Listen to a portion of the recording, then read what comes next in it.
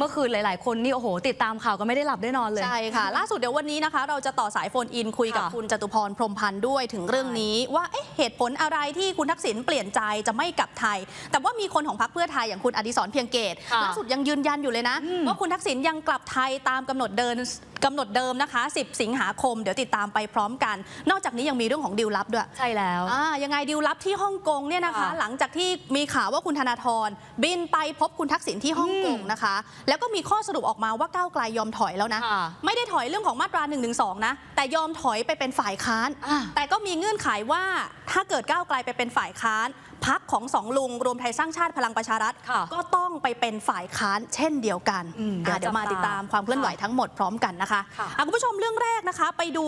ข่าวด่วนที่มีรายงานเข้ามานะคะ ว่าวันนี้อะค่ะมีข่าวว่าบิ๊กป้อมพลเอกประวิตยวงษ์สุวรรณนะคะ ในฐานะหัวหน้าพรรคพลังประชารัฐ ประกาศลาออกจากตำแหน่งหัวหน้าพรรค แต่เป็นการประกาศลาออกที่สั้นมาก โอ้ มีผลตั้งแต่ 8 นาฬิกาวันนี้เมื่อเช้าใช่ไหมเมื่อเช้าเออปรากฏว่า 10 โมงคุณผู้ชมคะ มีรายงานข่าวว่าเขาเลือกกรรมการบริหารพรรคชุดใหม่กันแล้วค่ะแล้วก็มีชื่อบิ๊กป้อมเนี่ยแหละ comeback กลับมาเป็นหัวหน้าพักพลังประชารัฐเหลามือนอเดิอกมไปเพียงแค่ 2 ชั่วโมงอะคุณสรารัตน์สั้นไหม สั้นที่สุดครั้งหนึ่งเลยหรือเปล่าเนี่ย เออค่ะเนี่ยค่ะ มีรายงานความเคลื่อนไหวจากคุณไพบูลย์นิติตะวันนะคะ รองหัวหน้าพักพลังประชารัฐค่ะ ได้มีการแจ้งต่อที่ประชุมของพักพลังประชารัฐนะคะ ว่าพลเอกประวิตยวงษ์สุวรรณได้ทำหนังสือ เพื่อขอยื่นลาออกจากตำแหน่งหัวหน้าพักพลังประชารัฐแล้วนะคะ